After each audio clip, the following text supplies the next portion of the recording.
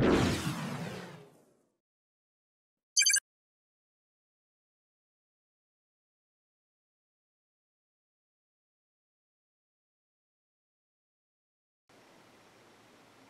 everybody, Jose Rodriguez back again. We're going to talk about refilling and refilling printer cartridges that allow you to do that. And we prefer that every single time compared to say third-party refillable equivalents, especially when it comes to Canon printers. So the most popular printer probably in the world at this point, the Pro 100, which was replaced by the Pro 200 this past year allows us to do that but it requires that you modify the cartridge by basically doing a little bit of an operation a surgical uh, procedure if you will you remove the factory fill ball and then you drill that seat to 5 30 seconds of an inch so that you can then use a plug to seal that chamber after you refill the cartridge well that again it may scare some people from doing so, but for a while it was really the only option that we had. And it's relatively easy to do. Once you get it performed and you did it correctly and you have a good sealing plug, you can just refill in a matter of basically half a minute you can refill one cartridge after you reset it of course the only catch is that for you to be able to continue to refill the same cartridge, you have to be very careful as to how you approach refilling and specifically when do you do it. You have to do it before the low warning takes place. And the reason being is that the liquid chamber contains a molded prism through which a little light beam passes through. And whenever there is liquid above that prism that beam is not disturbed at all. But once that prism begins to become exposed to air meaning that the liquid level of the ink drops allows the prism to emerge and that diverts the angle that little light beam travels through I guess and that triggers the low warning by that time it's almost imperative that you better refill that card because what happens is that the sponge side is basically composed of a pad of fibers. These fibers allow ink to permeate by capillary action and that is what maintains that that chamber to a certain saturation level which then provides the printhead with the proper level of ink flow.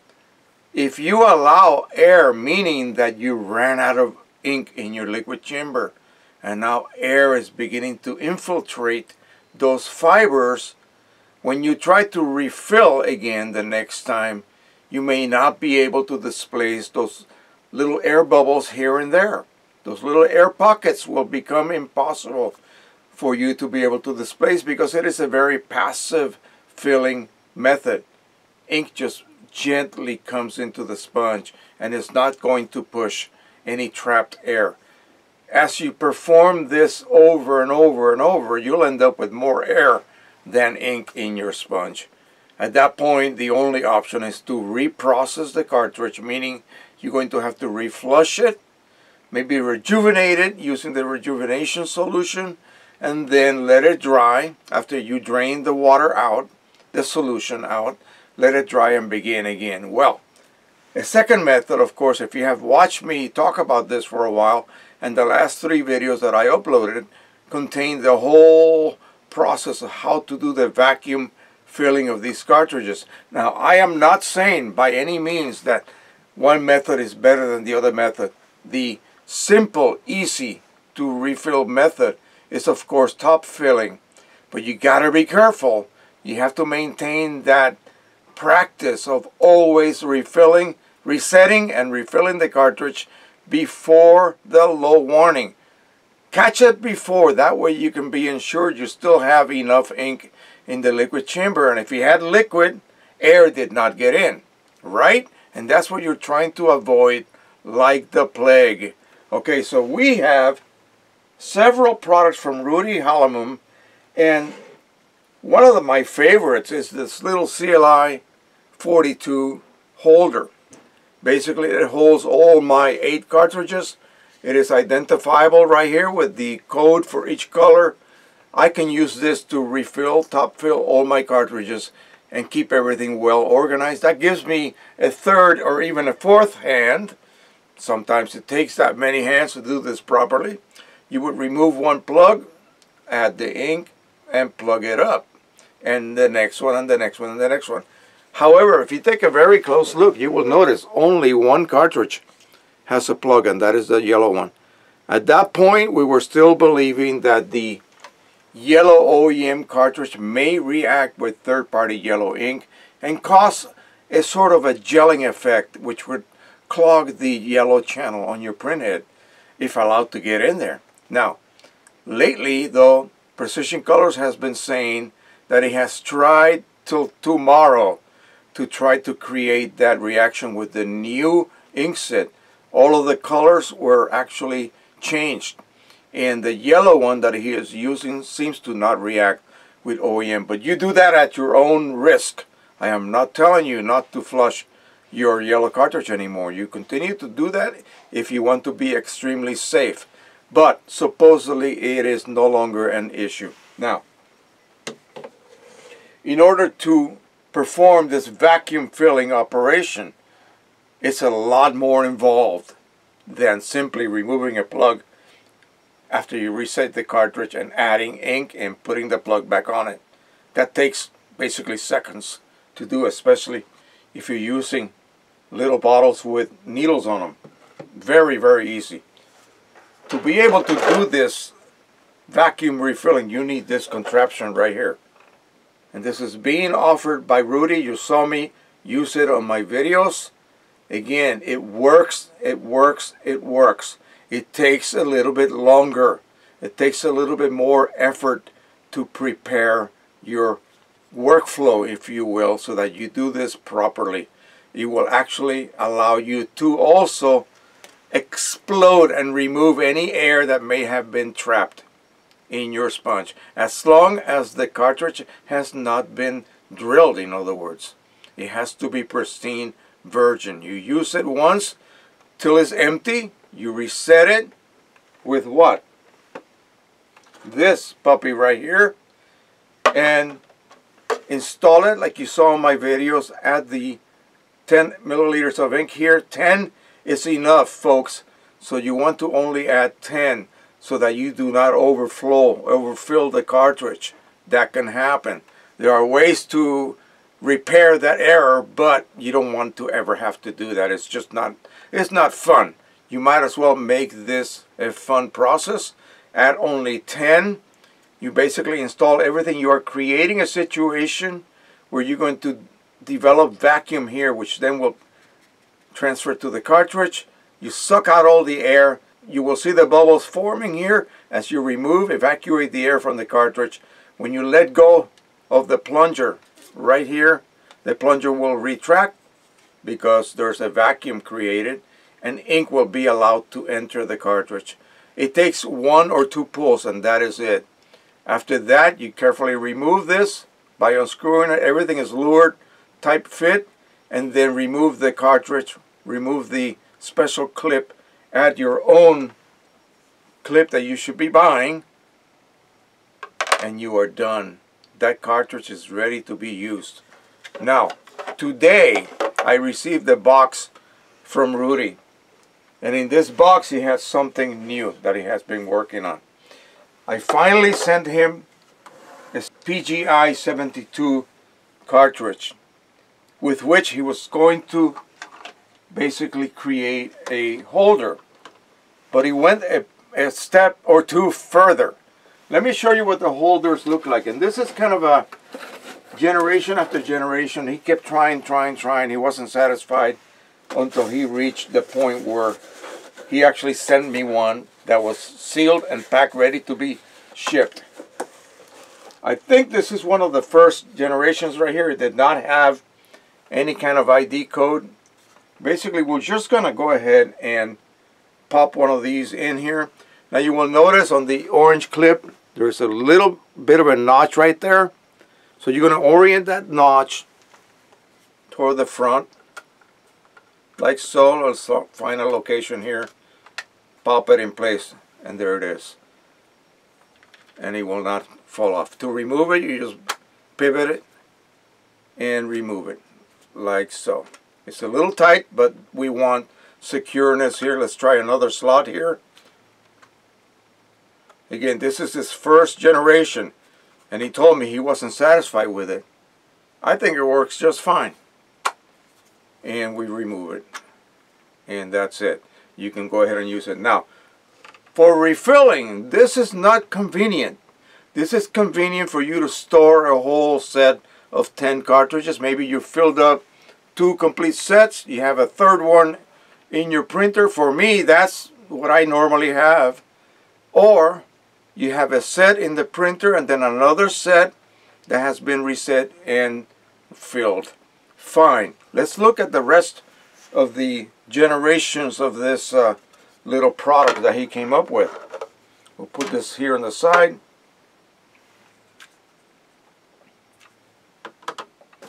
This one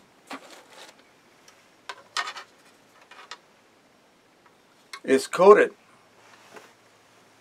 Is color coded.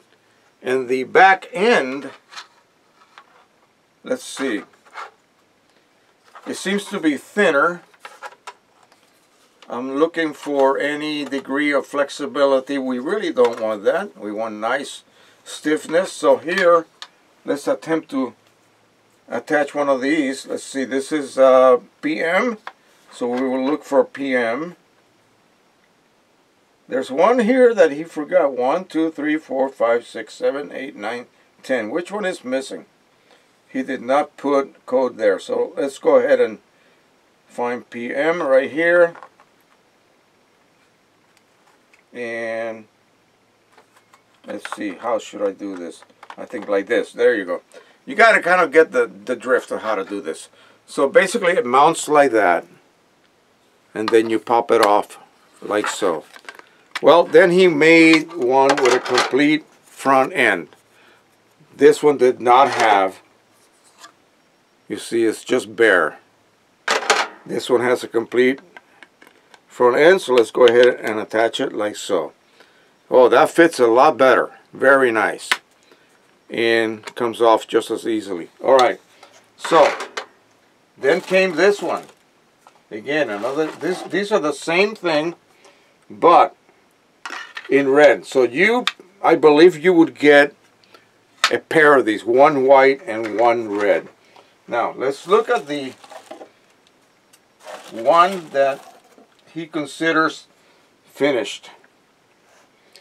And it is packed, like I said, it's packed ready to go. So I assume he is referring to something like this. Let's see if there's any difference between these. I'm going to use all of these regardless. But the one that's going to be sold very likely is going to look like this with the end wall included where the other one was just sort of exposed that's what that's what I suspect is in here I have not opened it yet but it looks that way according to the photograph on the top this looks very uh, professionally packed by the way heat sealed let's go ahead and pop this in locate the notch for the clip pop it right in place like so Oh, that fits really secure. That works. Let me try a couple more cartridges here. We have Photo Black, so let's look for Photo Black. Right here is Photo Black. And boom. And this one is PM. Again, another PM. Anyway, as you can see, this will hold, perfectly hold, 10 cartridges together, ready to go whenever you need to replace them. Like so. Boom. All right, now let's talk about the little bit of uh, extra extra um, gift we received here. And I am glad that he has been working hard on this and designing this for our benefit to give us the best product that we can uh, expect. And uh, I experimented with this in the in the past. Let me give you a little bit of a background as to why this is going to be awesome. Unless you're working with your own cartridges and you were not silly enough to throw away that orange clip the minute, say you had two sets of OEM cartridges and yellow runs out, you remove it, you put the clip on it, store it somewhere. You take your new one and you install it. That one that is stored will remain in good condition so long as that orange clip is kept in place. The bag internally there is a pleated ink bladder and it is controlled by a spring. It is a flat metallic spring. You can see it right here. That's ink right there as much. Don't worry about that. You can see around the peripheral what looks like little circles. Underneath that are connections to the pleated bag and that spring keeps that bag at the proper level of pressure. Okay, as ink is being demanded by the printhead, that bag begins to collapse. Once it reaches empty, it is collapsed. You put this back on, it will remain collapsed. If you choose to then reset it and dribble fill it, it will then re-expand. You weigh it as you are filling it. You reach 32 grams. You squeeze the sides a little bit, make sure there's no air in there. If you get nothing but liquid, as you squeeze the side and when you let go, the liquid re-enters, you put the clip, you can store it in one of those little holders until you need it. Now, here is what happens if you buy empties from eBay. They will quite often not come with that clip. And I have some in a bag somewhere here that are just impossible to refill. Really they are. It takes, rather than a minute, maybe 20, 30 minutes to refill. The bag has expanded because it was never sealed here at the ink port by that clip because the guy or gal threw it out thinking they would never need it. And that's understandable. A lot of people don't realize that these can be very valuable. So what do you do? You drop one or two drops and you squeeze the air inside that bag will ex be expelled and you will see foam on that sponge. What does the sponge look like? It looks like this. That surface, it is a oval shape exit port and it's really is a fibrous or fibrous material. You will see air bubbling out. Allow that air to bubble out. You let go of the side, relax the pressure, add a few more drops and proceed to do that again, you will see more foam coming out over and over and over and over and over and over until you finally reach 32 grams and you may have expelled all the air out of that pleater bag. Not guaranteed, but you may have. Storage always in this orientation until you need to use them. That sponge, that rectangular oval shaped sponge has to be kept soaked. It cannot have any crustiness, any dried areas, nothing like that that would impede the flow of ink. Okay? So even though these do not have to be modified, you still have to refill them the correct way. Now, what I did, and I believe there's a company in the UK, uh, octoink.co.uk, will sell you a clip that has a little luer lock adapter on it. You attach a syringe and you pull back, a syringe with nothing in it, and you pull back and collapse that bag. And now quickly remove this and begin adding ink. That will allow you to refill it a lot easier. Now the next time you refill that cartridge, you will not have that problem only that first time when the bag has been allowed to expand. So you attach the syringe to the adapter, pull back, create a vacuum, the bag will collapse At that point, you can then quickly remove everything and begin to refill. Or, or better yet, if you have like a 30 ml syringe and the 30 ml syringe if you pull back so the plunger is almost out it's more than 30 so what you do is you load 15 ml of ink or 14 ml of ink in it. Allow the ink to sit at the bottom. Of course you're going to attach the, the syringe. Pull back all that air will be sucked out of the bag. The bag will collapse. Let it rest a minute and then manually inject the ink into the bag. 14 ml on an empty cartridge will fit perfectly. Remove everything, remove the clip, and add a few drops to get it up to 32 grams. Now, here's what we have now. After all that explanation, get ready for this. I haven't opened it yet. Another little present from Rudy. Let's go ahead and crack this open. This is beautifully packed for ready for shipping. And what it is, a refilling system for the PGI 72s. And of course, this would also work for the Pro 300. Keep in mind that the Pro 300 has to be um, disabled. The chips have to be disabled for it to allow you to refill. But this will give you um, a better method to refill, let's just say more precise. All right, let's go ahead and, like I said, I have not opened this yet. So bear with me. It says here to pull. So we pull. And we have a holder here. I'm not going to do it because I need a perfectly clean you know, a perfectly empty cartridge. But this would sit, let me pop this open. This would replace the orange clip. You attach it, then here, the whole unit. Simply it's just a holder. You attach a syringe with the proper amount of ink in it, pull back to collapse the bag, and allow the ink to enter. Wow, very simple. Now, if you are not super, super duper picky, and you figure that 14 ml of ink is enough if you begin with a dead empty cartridge. And you will know that when you pull back the syringe, let me, let me just show you what all of this entails.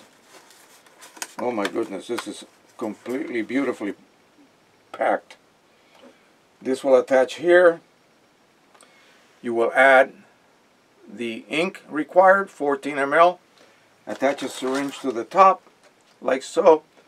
Pull back, collapse the bag. There's a piece of tubing here as well. Like so. This attaches to the syringe. This will have the ink in it. Pull back, collapse the bag, inject the ink that's it. Remove this. Remove this. Your cartridge is ready to be used. Wow. This is really going to revolutionize the way we refill these cartridges. No more drip method. Although if you love to do that, love to enjoy seeing the ink enter and it doesn't really take that long. It doesn't require any extra paraphernalia like this. You're the uh, judge. You be the judge. As they say, choose your poison whichever way makes you feel safer or better. Again, two ways to do this from now on. So this will attach to the syringe directly to the luer end and you just simply pull back, collapse the bag and allow the ink to go in by pushing forward. That is all that it takes. It's going to be awesome. Alright, so we're going to be doing an actual demonstration of this this coming week.